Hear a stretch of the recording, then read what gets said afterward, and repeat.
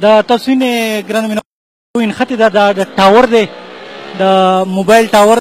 کې خاروین خط دا نو یو زلمی ور پسې خیږي او یو ریسکی پرل دی او ژوند بچ کولو خپل پوره پوره کوشش کوي دغه جذبه هغه انسان نه د ټولو مخلوقاتو باندې غوره کیږي نور غیر چاپیره هم ډېر مارغان راغلي دي او دا نظر دغه بې ژبې مرغۍ د خلاصولو لپاره نو دا هلې ځلې هم تاسو وینئ او بیا یو کس ختلی دی او هغه بند په دغه کې اچولی دی په خطر کې او دغه مرغه د خلاصولو کوشش کوي او دا تاسو دنګ ټاور دی انتهایی دنګ ټاور دی او دا ختلی دی صرف او صرف د دغه بې زبانه مرغۍ د بچ کولو لپاره هغه جذبې درس ورکوي چې کومه جذبه په نورو مخلوقاتو باندې اشرف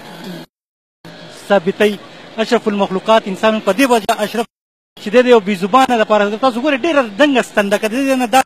شو نو خدای مکه انتهایی زیات نقصان ورته رسی خو ژوند په خطر کې غورځولې دی او د دغه بي زبانه د خلاصولو لپاره د خپل کوشش کوي خو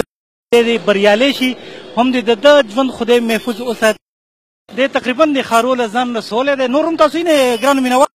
خان چې دی دا هم د خپل هغه د جذباتو هغه څرګندونه چې به هراسان غونډه کې لګیا دی الوزي خارو د پاره هغه هم خپل کوششونه کوي او دغه ځل دغه خارو ته